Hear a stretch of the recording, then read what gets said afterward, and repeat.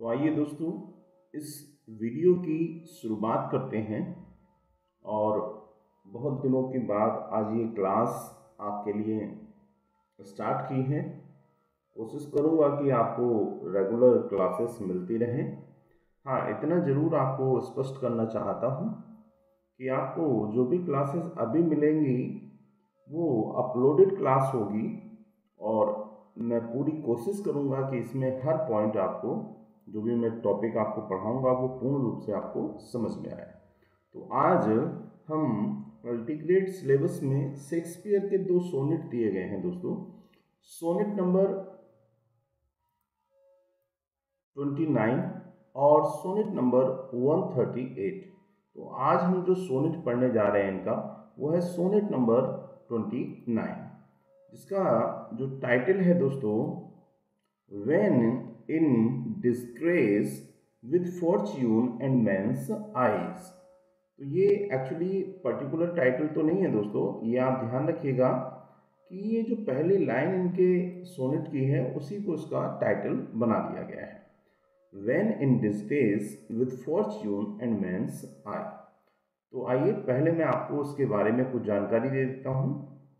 देखिए sonnet 29 is one of 154 sonnets जैसे कि आपको मालूम है कि शेक्सपियर ने एक सोनेट लिखे हैं तो उनमें से एक ये सोनेट है 29 नंबर का by the English playwright and poet William Shakespeare it is part of the fair youth sequence जैसे कि आपको मालूम है दोस्तों कि इनके जो सोनेट हैं, वो तीन भागों में डिवाइडेड हैं।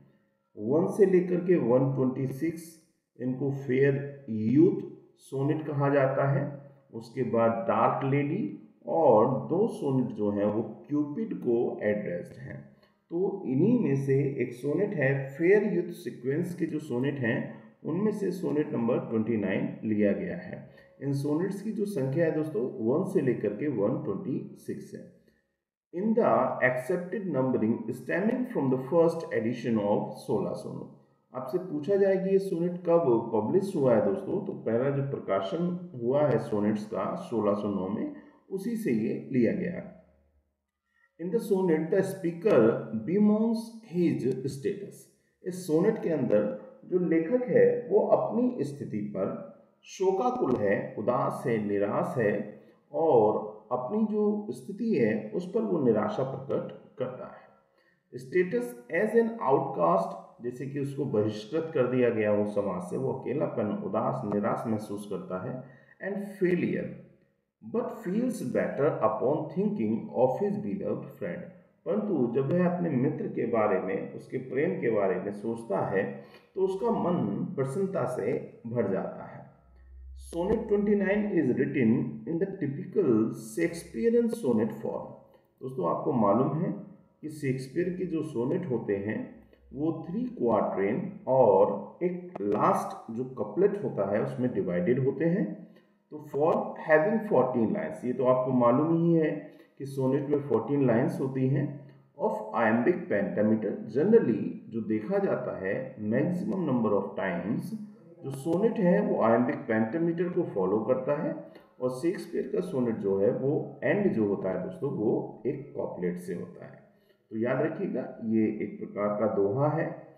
Sonnet 29 follows the same basic structure as Shakespeare other sonnets, containing 14 lines and written in iambic pentameter and compose of three rhyming quatrains देखिए, आपको बताया गया है, कई बार आपको अब याद भी है ये चीज़ कि शेक्सपियर का जो सोनेट है, वो थ्री क्वार्ट्रेन में बटा होता है।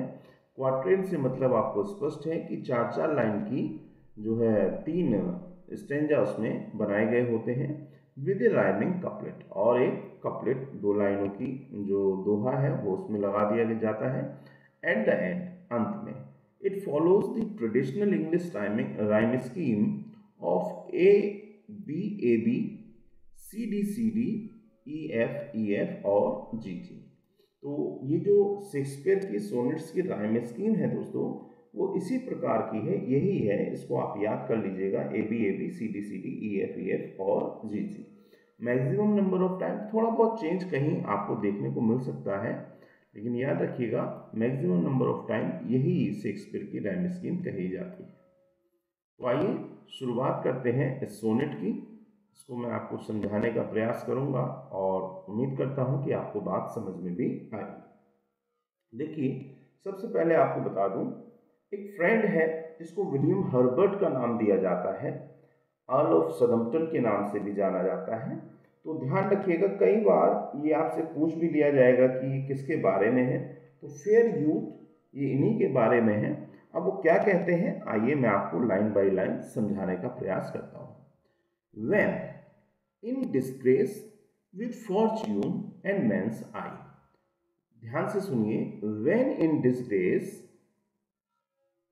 With fortune and men's eye जब भी कभी इन डिस्ग्रेस मैं निराशा में होता हूँ मेरा मन उदास होता है विथ फॉर्च्यून अपने भाग्य के साथ, अपने भाग्य में जो भी मेरे भाग्य में लिखा है, उन सबसे जब मैं बहुत ज़्यादा निराश होता हूँ और मैं अपने आप को अकेला पाता हूँ। उदास, निराश, अकेला डिस्ट्रेस्ड एकदम एंड मैंस आई और मैं ये देखता हूँ कि जो लोग हैं वो भी मेरे को देखते हैं और उनका व्यवहार मेरे प्रति उतना अच्छा नहीं तब ऐसी अवस्था में I I all alone beweep मैं अपने भाग्य पर, मेरे भाग्य में जो भी कुछ लिखा हुआ है, जो भी मेरे पास चीज़ें जिनकी मैं कामना करता हूँ नहीं है तो मैं अपने भाग्य पर रोने लगता हूँ और मैं अकेला, बहिष्कृत, एकांत में अकेला अपने आप को महसूस करता हूँ। माई आउटकास्ट स्टेट मेरी जो स्थिति है, मेरा जो अकेलापन है, मैं उसके बारे में सोचता हूँ और अपने भाग्य को सोच करके मैं रोने लगता हूँ। उस पर विलाप करने लगता हूँ, दुखी हो जाता हूँ। And trouble deep heaven and ट्रिबल and trouble deep heaven with bootless cries और कई बार मैं निराश होकर के अपने भाग्य पर मैं ईश्वर से प्रार्थना करने लगता हूँ, ईश्वर को अपना दुखड़ा सुनाने लगता हूँ, उसके आगे गिड़गिड़ाता हूँ। परंतु यह स्वर्ग के देवी देवता भी मेरी बात को नहीं सुनते, मेरी प्रार्थना को अनसुना कर देते हैं और ऐसा लगता है जैसे उन्होंने मेरे मेरे शब्दों को सुना ही नहीं। और इस प्रकार जो मेरे शब्द हैं, मेरी जो प्रार्थना है, मेरे भाग्य के प्रति, वो प्रार्थना ईश्वर के द्वारा अनसुनी कर दी जाती है और वह प्रार्थना मेरी जब अनसुनी हो जाती है तो वो निरर्थक साबित होती है। मेरे को कोई भी फल उस प्रार्थना का, ईश्वर से की गई प्रार्थना का नहीं मिलता है। एंड ट्रिबल डीप हेवन दोस्तों डीप हेवन का मतलब है यहाँ ईश्वर से मतलब है, देवी देवताओं से मतलब है कि वो भी मेरी प्रार्थना को अनसुना कर देते हैं। With my bootless cries bootless cries से मतलब मतलब है दोस्तों, जिसका कोई फल प्राप्त ना हो। यानी कि यूजलेस यूजलेस क्राइज जो भी मैं गिड़गड़ाता हूँ, चिल्लाता हूँ, रोता हूँ, विलाप करता हूँ, जो भी कुछ मैं ईश्वर से कहता हूँ, उसको वो अनसुना कर देते हैं। देखिए, आगे कहा है दोस्तों and look upon myself and curse my fate और जब ईश्वर भी, जब देवी देवता भी, जब स्वर्ग भी मेरी इस प्रार्थना को अस्वीकार कर देता है तब मैं फिर से अपने भाग्य को धिकारने लगता हूँ। कोसने लगता हूँ और बहुत ही मैं निराशा में चला जाता हूँ। कई बार ये लगता है कि जीवन में कुछ भी नहीं है and look upon myself मैं अपने आप को देखता हूँ कर्स माई फेट और धिकारता हूँ अपने भाग्य को। आगे देखिए दोस्तों, क्या कहा है? Wishing me like to one more rich in hope और कई बार ऐसा कोसते कोसते विशिंग मैं इच्छा भी करता हूँ like to one more rich कि मैं भी उस व्यक्ति के समान होता इन होप जिसका हृदय आशाओं से भरा हुआ है, जिसके हृदय के अंदर बहुत सारी आशाएँ हैं और वह अपने उन होप्स के द्वारा आगे बढ़ रहा है, जीवन में उन्नति कर रहा है। कई बार मैं निराश हो जाता हूँ फीचर्ड लाइक हिम उसकी खूबसूरती को देख करके उसके आनंद। देखिए दोस्तों, यहाँ पर समझने का प्रयास करिए कौन कौन सी चीज़ें उसको परेशान करती हैं, उन चीज़ों का उसने यहाँ पर वर्णन किया है कि कई बार मैं इतना अपने आप पर, अपने भाग्य पर निराश हो जाता हूँ, परेशान हो जाता हूँ कि जो अच्छे लोग हैं, जिनके पास आशाएँ हैं, मैं उनको देख करके उनसे ईर्ष्या, उनसे घृणा करने लगता हूँ, उनसे द्वेष की भावना मेरे अंदर जागृत होने लगती है। और कई बार मैं देखता हूँ कि जो लोग मेरे से अच्छे हैं, उनकी सुंदरता को देखकर, उनकी बॉडी आकार को देख करके मेरे को उनसे भी नफरत होने लगती है। Like him with friends possess और मैं उन लोगों से भी ईर्ष्या करने लगता हूँ, जिन लोगों के पास अपना दुख, अपना सुख बांटने के लिए बहुत सारे मित्र होते हैं। किन किन लोगों से? ऐसे लोगों से मैं ईर्ष्या करने लग जाता हूँ जिनका हृदय आशाओं से भरा हुआ है। ऐसे लोगों से मैं ईर्ष्या करने लग जाता हूँ, जो फ़िज़िकल रूप से बहुत अच्छे दिखते हैं स्मार्ट हैं like him with friends possessed और ऐसे लोगों से भी जिनके पास ढेर सारे मित्र हैं, अपना सुख और दुख बांटने के लिए। Desiring this mains art and mains scope और कई बार मैं ऐसे लोगों से भी नफरत करने लगता हूँ, ईर्ष्या करने लग जाता हूँ, जो लोग विभिन्न प्रकार के टैलेंट से, गुणों से संपन्न हैं, गुणों से भरे हुए हैं। एंड मैंस स्कोप और दोस्तों स्कोप से यहाँ पर मतलब है विभिन्न प्रकार की जो एक्टिविटीज़ हैं, जो लोग आजकल करते हैं। तो वो उन्होंने यहाँ पर कहा है कि जब मैं उन लोगों को देखता हूँ कि कोई कुछ कर रहा है, किसी के पास दोस्त है, किसी का बॉडी स्ट्रक्चर बहुत अच्छा है, कोई स्मार्ट है, किसी के अंदर कुछ टैलेंट भरा हुआ है किसी का हृदय बहुत ऊँची ऊँची आशाओं से भरा हुआ है तो मैं इन सभी प्रकार के लोगों से, इनको देख करके उनसे ईर्षा करने लग जाता हूँ। With what I most enjoy content least वो कहता है विद वाट इन सब के साथ आई मोस्ट एंजॉय जिसको मैंने एंजॉय किया कंटेंटेड संतुष्ट में रहा लीस्ट बहुत ही थोड़ा सा। मीन्स इज़ टू से मेरे को बहुत कम ही ऐसी चीज़ें मिली हैं। मित्र भी नहीं है, बहुत अच्छे मित्र नहीं है। बहुत सारी आशाएँ नहीं है, कोई टैलेंट नहीं है, ऐसा वो यहाँ पर अपने आप को कहते हुए दिखाता देखिए दोस्तों, यहाँ से समझिएगा ये टर्न ऑफ़ थॉट होने वाला है। Yet in these thoughts myself almost despising और ये सब घृणा, ईर्ष्या, द्वेष की भावना अपने फेट को धिक्कारते हुए, निराशा होते हुए डिस्ट्रेसिंग मोड में डिस्ट्रेसिंग मोड में जाते हुए जब मैं अपने विचारों में खो जाता हूँ, सोचने लगता हूँ येट इन दीज थॉट्स इन विचारों में माई सेल्फ ऑलमोस्ट डेस्पाइसिंग तब मैं अपने आप से, अपने भाग्य से घृणा करने लग जाता हूँ, नफरत करने लग जाता हूँ। हैप्पली और उसी समय दोस्तों, यहाँ से चेंज ऑफ़ थॉट आपको मिलेगा दोस्तों। हैप्पली संयोगवश आई थिंक ऑन दी मेरा ध्यान तुम्हारे ऊपर चला जाता है।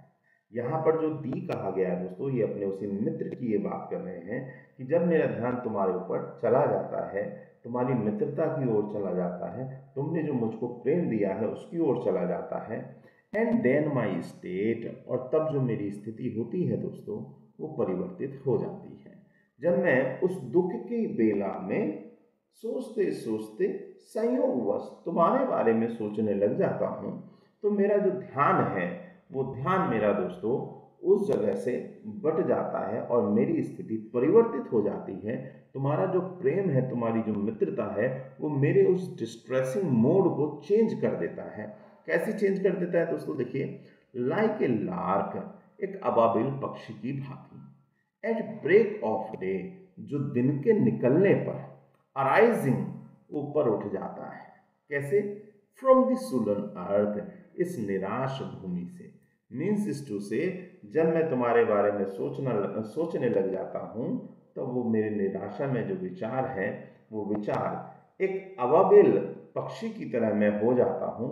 जो दिन के निकलने पर उस आसमान में, ऊंचाई में उड़ने लगती है और सिंग्स हाई और बड़े ही मधुर प्रार्थना गीत वो गाती है। तो मेरा हृदय भी तुम्हारी मित्रता, तुम्हारे प्रेम के बारे में सोच करके ऐसे ही सुंदर भावों से भर जाता है।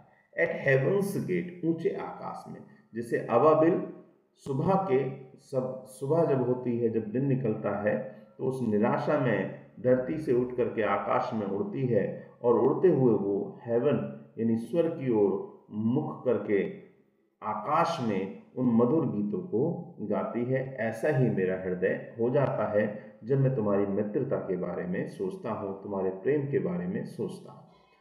For thy sweet love remembered such wealth brings मैं तुमको सच बताता हूँ कि तुम्हारा जो प्रेम है, तुम्हारी जो मित्रता है, उस मित्रता के बारे में जब मैं ऐसा सोचता हूँ तो मेरा हृदय अबाबिल के हृदय जैसा हो जाता है, उस सुंदर पक्षी के जैसा हो जाता है, जो प्रार्थना में मधुर गीत आकाश में गाती है। और तुम्हारा प्रेम मेरे लिए इतनी वेल्थ इतनी शांति, इतना सुकून, इतनी समृद्धि लेकर के आता है कि मैं दैट देन उस समय आई स्कॉन मैं धिकारने लग जाता हूँ। किस चीज़ को? मैं घृणा करने लग जाता हूँ। टू चेंज मीन्स टू से मैं बदलना नहीं चाहता। My state of with kings means to से मैं उस समय अपने आप को राजाओं की स्थिति से भी बढ़िया आनंदित पाता तो दोस्तों, ये पूरी पोयम है, एक सोनेट है मुझे उम्मीद है आपको दोस्तों ये सोनेट समझ में आया होगा। इसको मैं आपको पीडीएफ के रूप में दोस्तों प्रोवाइड कर दूँगा और आप इसको अपने आप से एक बार पढ़ लीजिएगा। देखिए, अभी टाइम है और इसी टाइम को लेकर के मैं कोशिश करूँगा कि आपको मैं क्लासेस प्रोवाइड कराऊं और आप चैप्टर बाय चैप्टर बड़े अच्छे से इन चीज़ों को तैयार कर लीजिएगा। क्योंकि जब नज़दीक समय आ जाता है एग्ज़ाम का दोस्तों तो आप काफ़ी हौच पौच अपना माइंड कर लेते हैं, बहुत भर लेते हैं तो उसको हमें नहीं करना है दोस्तों। इस चीज़ का विशेष ध्यान रखिएगा। तो मिलते हैं अगले वीडियो में और मुझे उम्मीद है कि आपको ये वीडियो पसंद आएगा दोस्तों।